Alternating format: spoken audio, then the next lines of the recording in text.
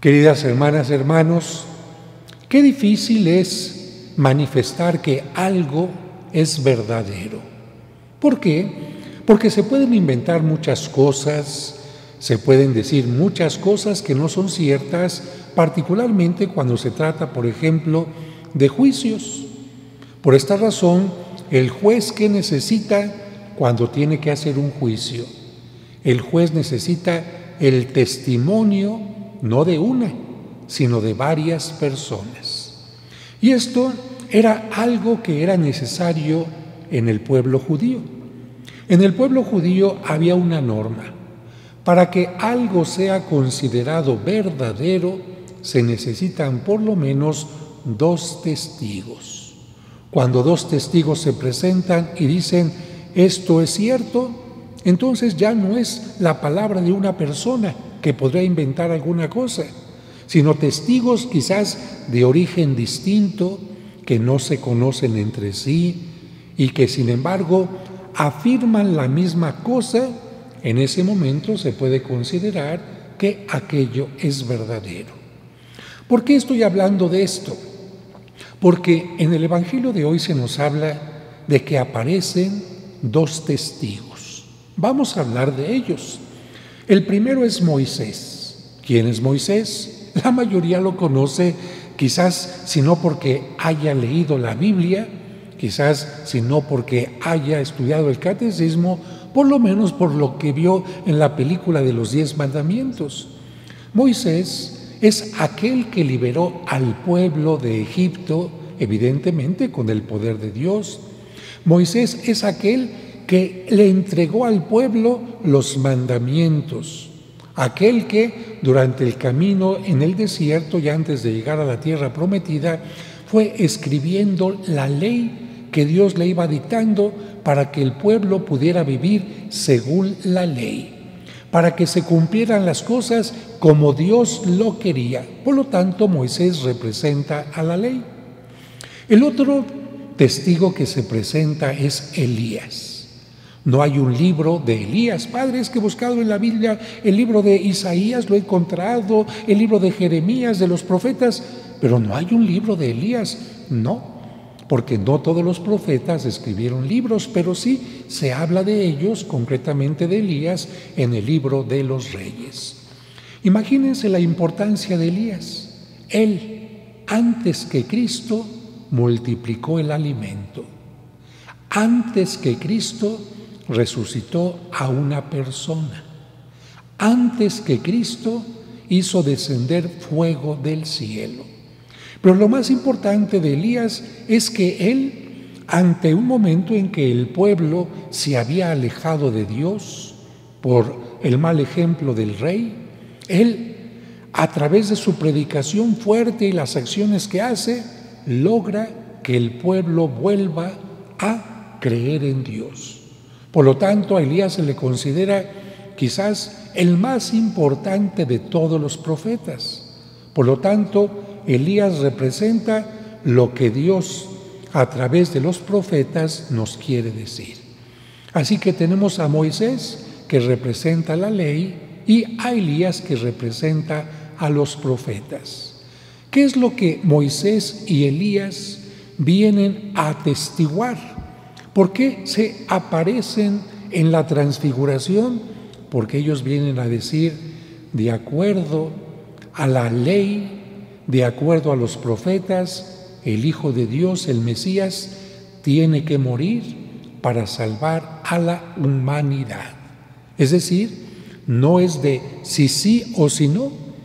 De acuerdo a las profecías y de acuerdo a la ley, en la que se mencionaba que una persona pura, justa, inocente, una víctima pura, inocente, tenía que ser sacrificada para purificar al ser humano. Por esta razón, Cristo tiene que morir. Esta escena se realiza poco tiempo antes de que Cristo vaya caminando hacia Jerusalén precisamente para morir. Y como Cristo no quiere que los apóstoles se queden pasmados cuando lo vean crucificado, sino que tengan un adelanto de lo que va a ser su resurrección, Que los apóstoles sepan que si muere no es porque ha fracasado, que si muere no es porque tienen más poder que Dios, los sumos sacerdotes o Poncio Pilato, no, que si mueren es porque se está cumpliendo la ley y los profetas, pero que ahí no quedará todo. ¿Y qué hace Cristo para que los apóstoles entiendan que después de su muerte Él se va a levantar de la tumba? Se empieza a llenar de una blancura excepcional, como si estuviera resucitando, de una luz excepcional, como si los apóstoles estuvieran viendo que Cristo va saliendo del sepulcro vivo, resucitado, y se escucha la voz de Dios que dice, este es mi Hijo, escúchenlo. A este momento se le llama la transfiguración. Y es lo que precisamente la iglesia celebra el día de hoy, que Cristo se transfigura ante los tres discípulos amados, Pedro y los dos hermanos, Santiago y Juan. A ellos son a los que va a llamar precisamente unas horas antes de su pasión. En el huerto de los olivos, ¿a quién va a llamar Cristo? A Pedro, a Santiago y a Juan, que fueron testigos de la transfiguración, para que sean testigos de su oración en el huerto y más adelante también de su resurrección. ¿Qué podemos entender nosotros, además de este texto que hemos escuchado hoy? Que esto se realiza en el monte, en el monte Tabor. Cuando la gente va conmigo de peregrinación a Tierra Santa, subimos hasta lo más alto de este monte para estar en el lugar exacto de la transfiguración. ¿Y qué significa una montaña en la palabra de Dios, en la Biblia?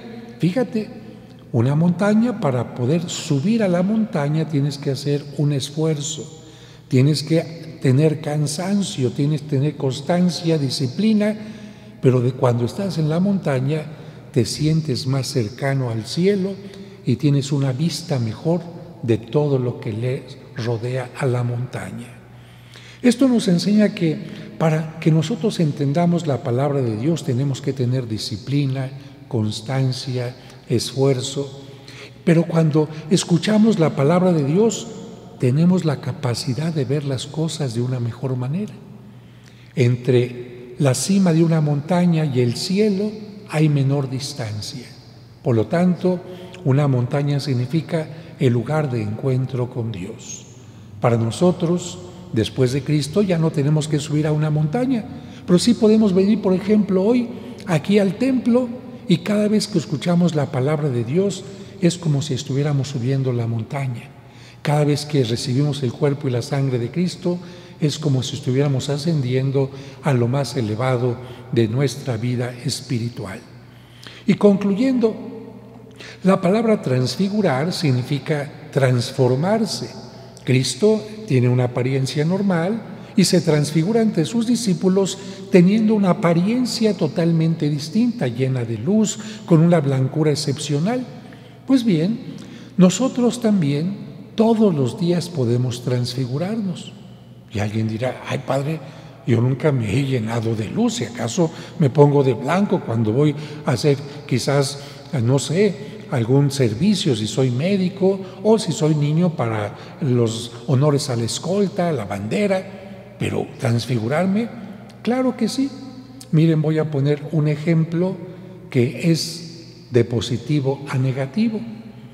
Una persona que es un buen padre de familia, responsable, amoroso, y de repente empieza a tomar más alcohol de lo normal y se transfigura y empieza a golpear a la esposa, a ofender a los hijos, a gastar el dinero en una forma absurda e incluso a poner en peligro su vida. Ahí está una transfiguración. O el joven que se droga y se transfigura o una persona que lamentablemente iba por buen camino y de repente se junta con personas de la delincuencia y se transfigura de bien para mal. Muchos de los que ahora son delincuentes, narcotraficantes, un día hicieron su primera comunión y tenían el corazón totalmente limpio. Una transfiguración del bien hacia el mal, como nuestro retablo que inicialmente era un retablo maravilloso y que con el paso del tiempo lamentablemente se fue deteriorando. Pero existe también la otra transfiguración, como la de la oruga, que a través de un tiempo en que se encierra en su capullo, en su crisálida, después de arrastrarse, ahora puede volar.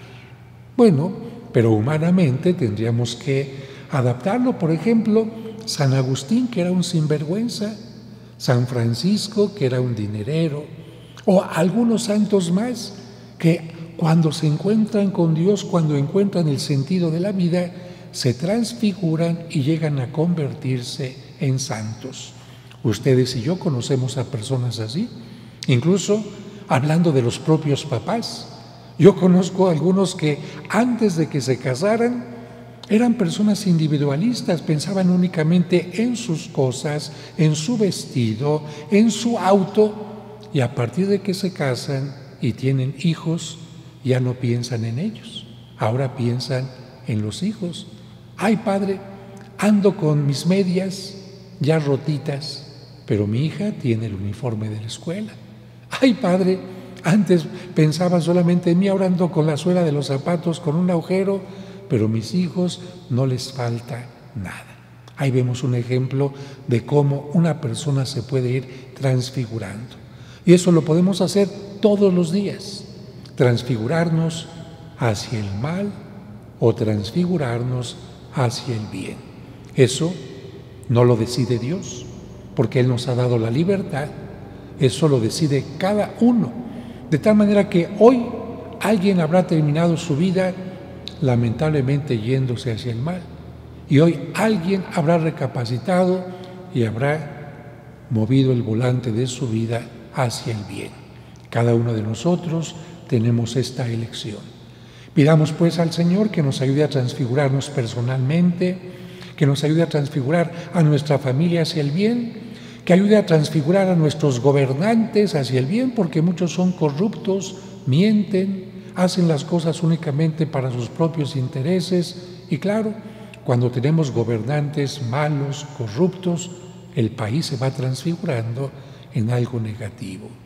Cómo nos duele a muchas personas haber vivido en un tiempo en que uno podía salir a la calle a cualquier hora, en que no había tanta delincuencia, en que no había tanta droga, en que no había tantos asaltos, en que el mundo tenía una mayor calidad de aire y que lamentablemente por descuido del ser humano estamos viviendo circunstancias negativas y no nos gustan. Por eso Dios nos dice, transfigúrense, vayan creando el reino de los cielos desde esta tierra.